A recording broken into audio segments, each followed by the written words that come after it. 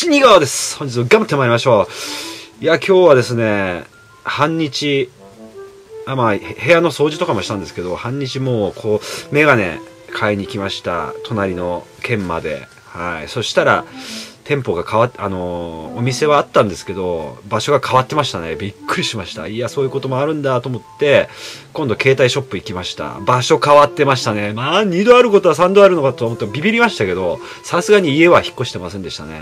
はい。でちょっと買いました。やっぱ YouTuber といえば Google ですよね。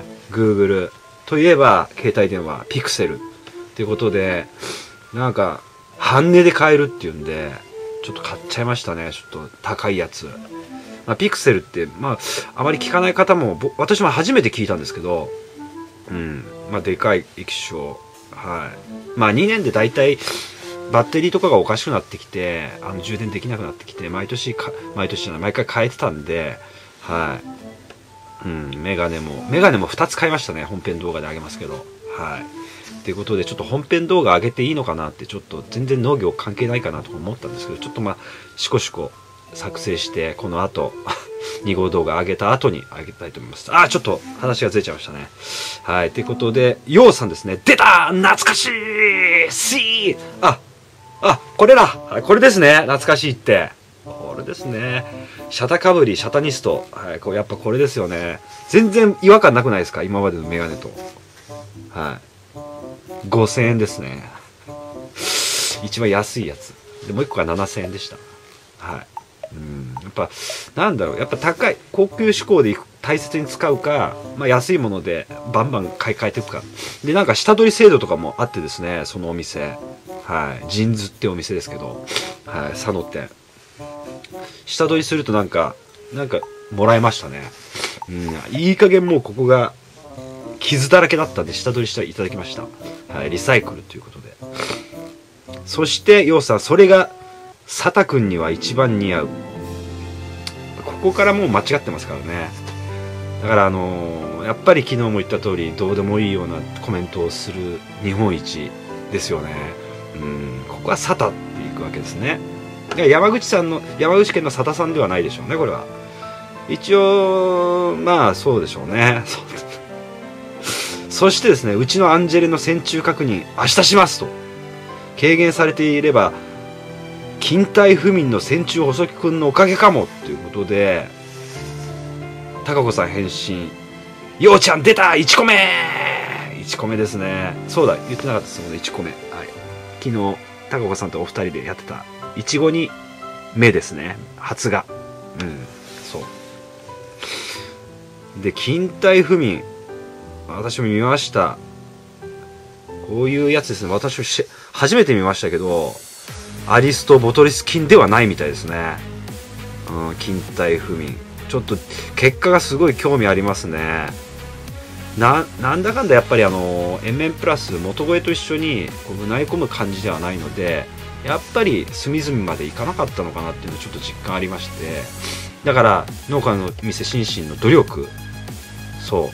ちょっとこの後あの SBT033333 のコメントでちょっと触れますけど努力っていうのが土にうない込む感じなんでちょっとそっちもやっぱ入れた方がいいのかな。プラス MN プラス。は高いな。OK お金かかっちゃいますけどね。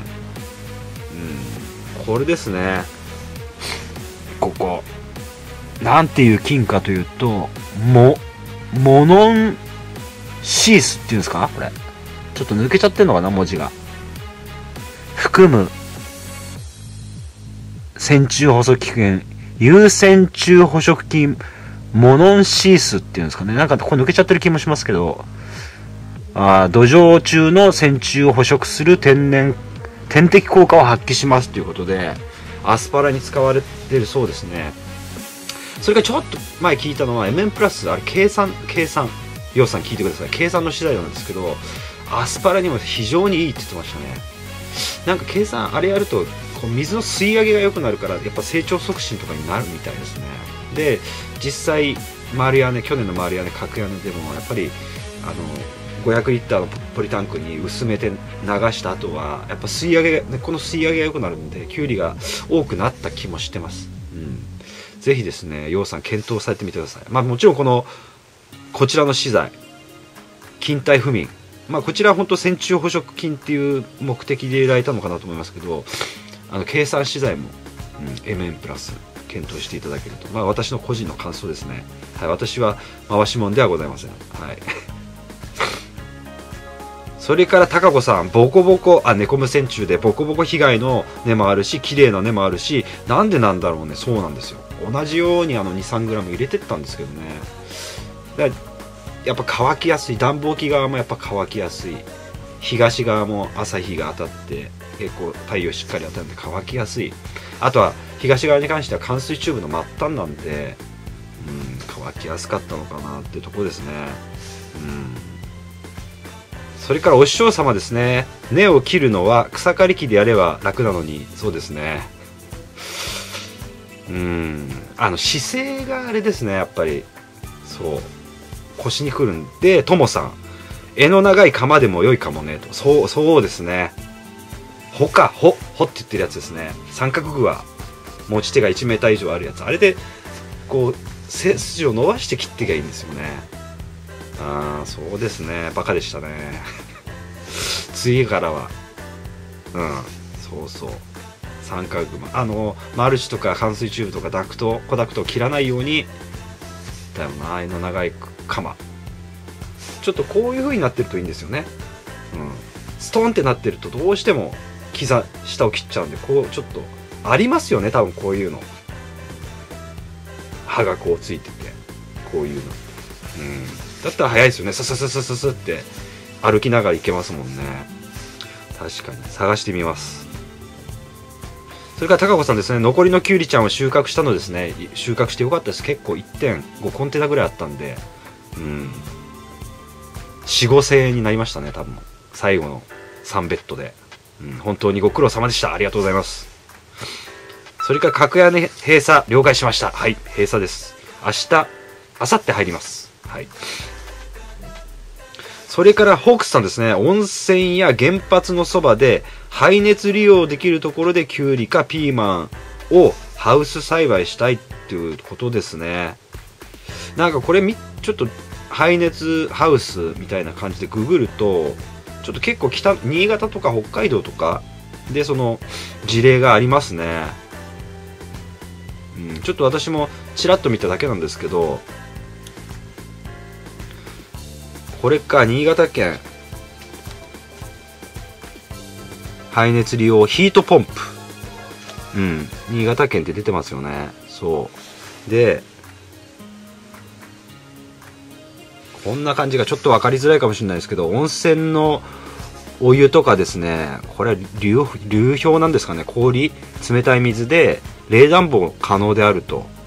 で、まあ20度ぐらいに保てるっていう仕組みですね。で、ここにヒートポンプがある。2台だからここ結構これ見ててですねやっぱり本当に近くにないと両方の水源温源冷冷水と温水を本当に冷やすことなくあ違うか温めることなく冷ますことなく、うん、持ってこなきゃいけないのかなってところがあってまあ試験的にはやってるっぽいですけどどうなんでしょうかね。これで経営を経営立ててしっかりその稼げてる方とかっていらっしゃるんですかね。まあこれちょっと、あくまでもち、あの、排熱でも、あの、温泉、もしくは氷ですね。あとは、これですね、北海道。北海道とかで、これ、ね、これですよね、地中熱。使って、施設を温めるっていうような。うーん。これもそうですねさっきと同じこれで結構大掛かりな施設になるのかなと。うん。まあただ音源音源というかここの熱っていうのはほぼ一定でしょうから、まあ、1回やってしまえばうん温度は保てるのかなってところありますね。実際これでまあきゅうりピーマン作られてる方とかご存知の方とかいらっしゃったらコメントいただけると。はい。はいそうですね。どうしても私もうんあのやっぱり重油よりはやっぱお金かけてなんていうんですか電気ヒートポンプじゃないですけどできた方が今後重油価格化石燃料に左右されない方がいいのかなと。だからソーラーパネルみたいにつけて暖房機もヒートポンプ。ただ設備投資に相当かかるなってところがありますね。それからジンジンさんですね。なんかついに加温機の停止と昨日一昨日か夜悲しいですねと。シャダさんの子供みたいなキュウリ君たちワンシーンズの愛愛情を込めて丹精込めて心を込めて来る日も来る日も世話をしていたキュウリ君たち。はい。病気にもめげず頑張って花を咲かせてくれたキュウリ君たちををジンも絶対に忘れません。たくさん収穫してくれてありがとう！ありがとうございます！本当ですよね。本当私も適心とか適用とかしてる時本当申し訳ないなと思ってます。キュウリには。はい。バンバンなってくれと思いながらもあれがだってうんまああれですね、まあ、植物だからってとかありますけどそれから高子さんですね。昔の動画ですね。これエタノールのサムネイルで新型トラクターはいいヤンマーテンション上がるってやつですね。はい高子さんからいただきました。トラクターにあの乗り慣れているから覚えたらすすぐよそうちょっとまあ怖かったんですけど。うん。やっぱり最新式のはいいですねでも。楽。うん。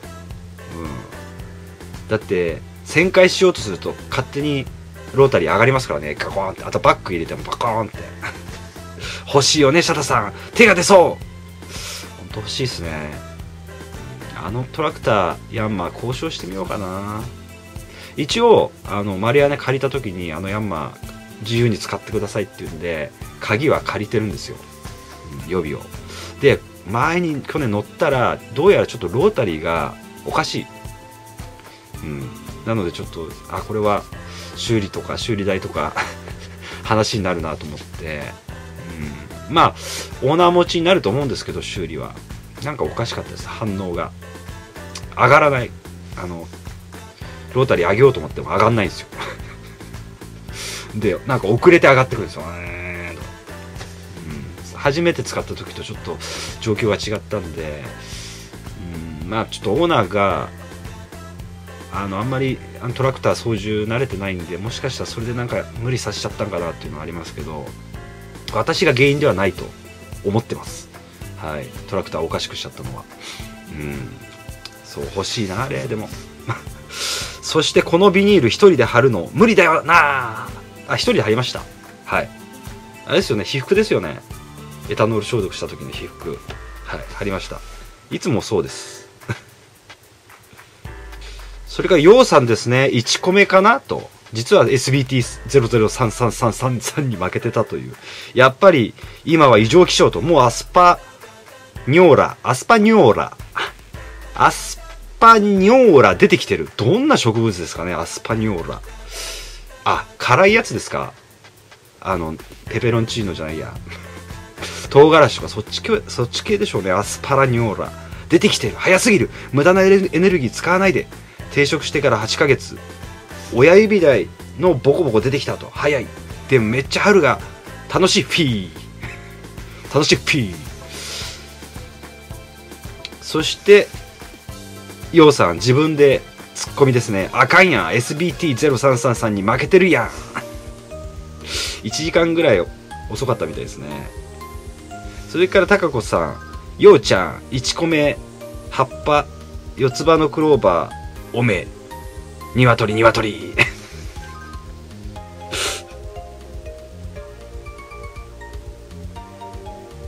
それからようさん返信、イエーイいや、なんて私コメントしてればいいんでしょうか 真面目に見ちゃいましたけど、まあ、1コメじゃなかったですからね、ヨウさん。それかどうしたんですかね、本当に。アスパラニーラ、ニョーラ、アスパラニーラ、ニョーラ。早く出すぎ。なんかちょっとあれじゃないですか、元声聞きすぎちゃったんじゃないですか。違うのかな。でも8ヶ月経ってるんですよね。うん。どうなんでしょうか。それから SBT0333 ですね。MM プラス効果出てるみたいですねと、うん、昨日上げた動画からさせていただけると、うん、まああれが全てですね。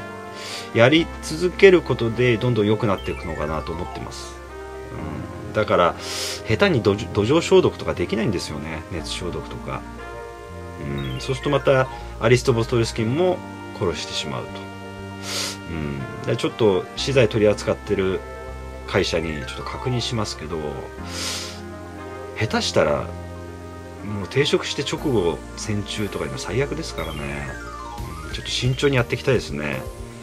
そして今年の4月定食は心身の努力を使おうと思ってますと。8月定食は MN プラス使おうかなと。ダブルがいいみたいですね。だから経費の兼ね合いですよね。まだまだ作業は笑いなので終わったらまたそのうち疑い伺いますね。来るんですか？あそっか。心身まで来たらぜひ来てください。はい。そっかこれ。それで高子さん SBT ちゃん。頑張ってみんな終わらないんだねと。で SBT さん返信。母ちゃん母さん。あ祖父の介護。そっかおじいさんの後継がれてるんですもんね。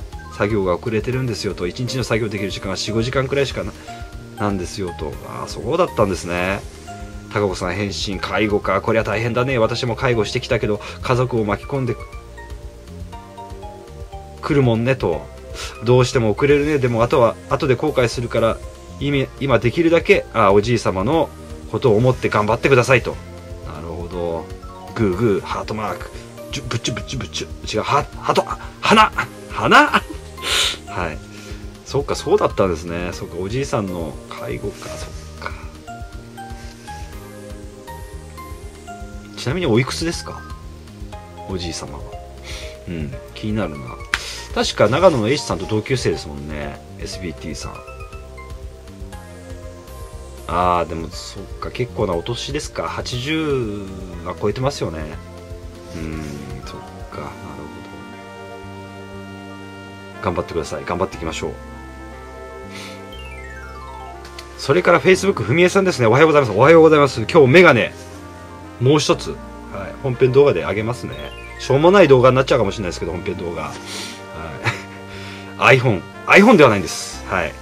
Android です。はい。ちょっと汗だくですねこれ。アンドロイドピクセルでしたっけ？もう名前出てこないですね。ピクセル。Google の Google 製ですね。うん。2019年気持ち新たにきゅうり栽培頑張ってありがとうございます。農業塾考えられましたね。ハトハトシャタ塾。シャタ塾長素晴らしいと目標達成頑張って。はい。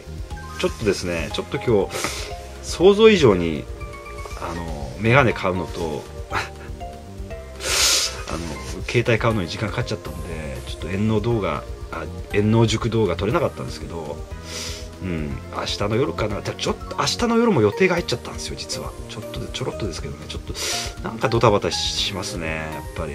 ゆっくり休もうと思ってたんですけど、うん、まあしょうがないですね。はい。乗り越えていきます、はい、じゃあ本日本日も頑張ってもらいましょう。最初はピッコピッコじゃんけんパー。おオラにも。ピクセル。買ってくれ。使いこなせる。オラなら使いこなせる。うん。携帯電話欲しいつらピオさんこっちですよ。